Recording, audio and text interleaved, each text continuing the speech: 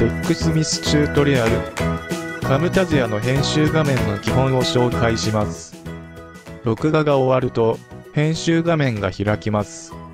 この画面は、3つの画面からなります。まず最初に、メディア便です。ここは、画像、音楽、その他、プロジェクトを作っていく上で、使用する項目が揃っています。次に、キャンバスと呼ばれる画面です。ここで、画像のサイズを変えたり、様々な効果を付け加えた画面が表示されます。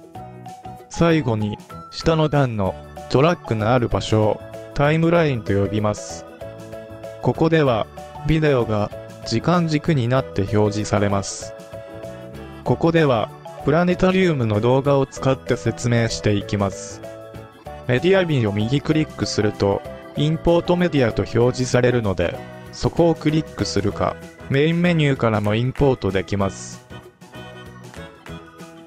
では、メディア便を右クリックして、インポートメディアをクリックすると、ファイルが開きます。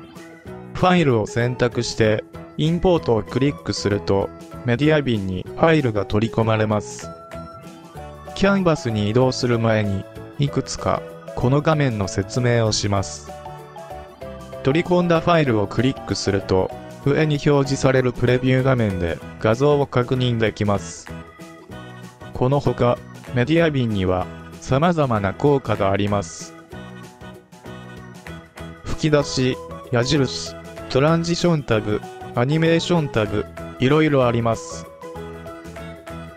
効果を付け加える前に、プレビュー画面で確認すると便利です。次に、キャンバスとタイムラインの説明です。このエリアを、キャンバスと呼びます。この画面をクリックすると、コーナーに、サークル状の印が表示されます。この円をドラッグして、サイズや位置を調整します。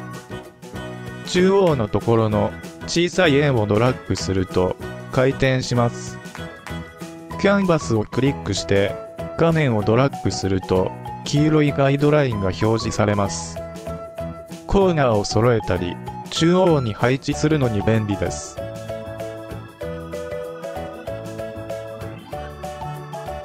最後にタイムラインの説明です。ここでビデオ、画像、矢印などのたくさんのトラックを積み上げていきます。ビデオに音声が含まれている場合や、オーディオクリップの場合は、波型の音量が表示されます。このトライアングルとラインを再生ヘッドと呼びます。再生ヘッドがある場所がキャンバスに移ります。タイムラインの上の段にあるトラックがキャンバスで前面に表示されます。トラックを逆転させると、キャンバスの画面も入れ替わります。このチュートリアルでは、ファイルの取り込み、編集画面の基本を紹介しました。